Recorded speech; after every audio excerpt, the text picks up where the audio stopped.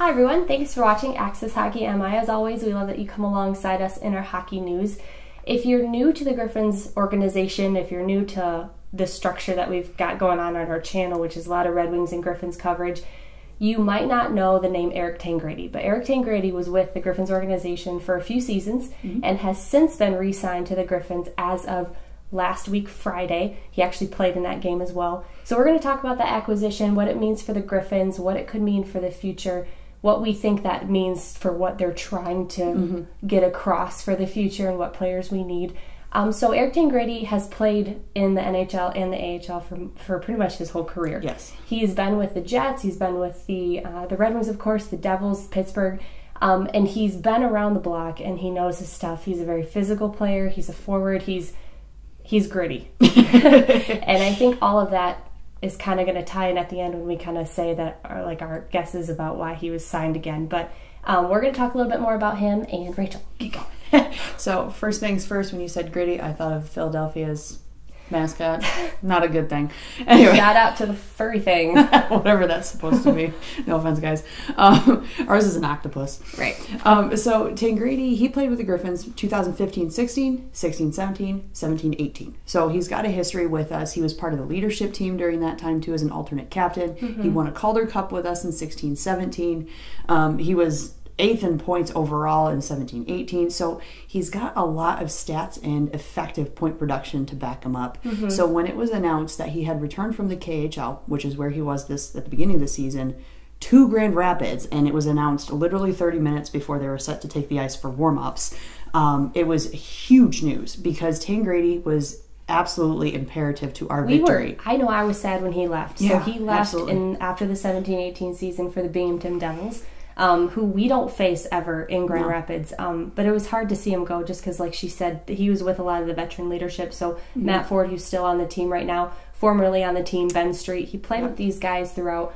Um, his tenure with us, yeah, or at least for the 16-17 playoff mm-hmm. run, which he had 19 points in 19 games yeah. and won that season. Yeah, so the man can work. Yes. The biggest thing with with Tangradi and what was instantly noticeable when the game he came back was his physical presence. Yes, um, he is incredible in what has been coined Gretzky's office. So the trapezoid behind the net he was always the best at that. Using his body and his stick handling is just impeccable. So you could instantly tell his effect on the team yeah. that day, and the crowd was very excited yeah, to welcome so, him back. Like I said, if you're new to the Griffins organization or new to following um, our coverage of them, you won't really know this name, but.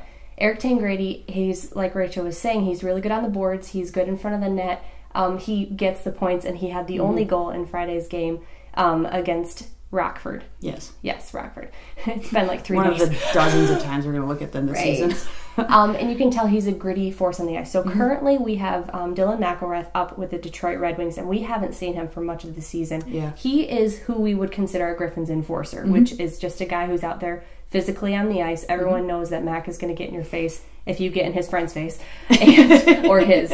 Um, and right now on the Griffins, we've had Smith on and off, mm-hmm. Givani Smith, who's also kind of that presence, yeah. a little more um, offensive than an enforcer usually ends up being. Yep. But Tangradi, I wouldn't say he's an enforcer. No. But it's the physical presence on the ice. You can already see he's a very passionate player. Mm-hmm. He just doesn't put up with crap. Yes. which is yeah, great. so he's a very passionate yeah. player. He's going to stick up for his teammates and himself, which is something I think the Griffins need. Absolutely, and they right now they're struggling to find um, some cohesion, some chemistry, and we've talked about it before really the locker room can't figure out what in the world's going on. Young players got to step up, and Tangradi is just the kind of guy that he's going to come in and take those young players under his wing because he's been there before. Mm-hmm. I talked to him post game on Friday, and he said that's exactly what he said. He goes, "I've been in this position before. I know how these guys are feeling, and I want to do what I can to lead this team."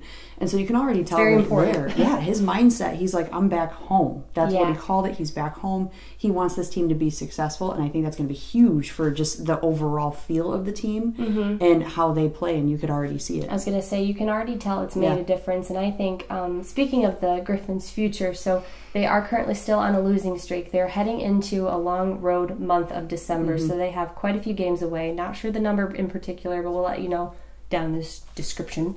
Yes. Um, so they're say it's like six or seven. They're games. heading out. It's it's a two week stretch at least in California, and they have right now a really bad road record. I believe it's one and eight.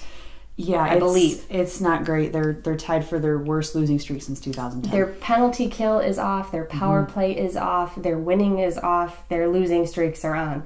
And they have It's not the kind of on you want to be. Right. So we are looking at a lot of encouragement, is what I'm saying, in Eric Tangradi. And he's not, of course, going to carry the team, but he's going Right. Mm-hmm. to be a necessary push with all the guys he's played with, with coaching these young offensive players up. I think it's just going to be a. It was a really good acquisition, especially even for like Grand Rapids fans. He got a standing ovation at the game.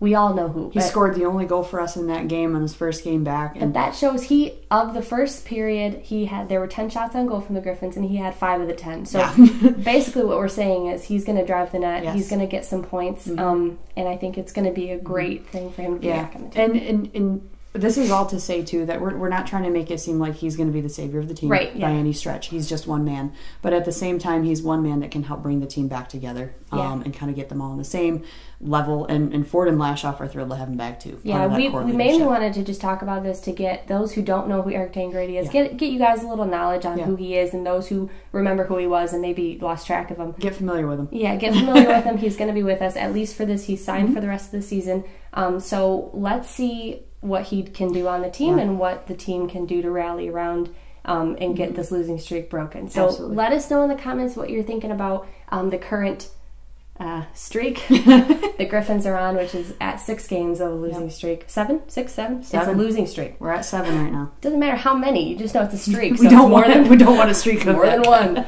Um, so yeah, just let us know what you're thinking in the comments. We always love reading those, as you know. And if you're familiar with Tangradi, let us know your thoughts about him as a player. You know, what do you think he can contribute that we hadn't mentioned? And what do the Griffins need to do to get out of this funk? Yes, Let us know. Not a good funk. Yeah, we will see you guys next time.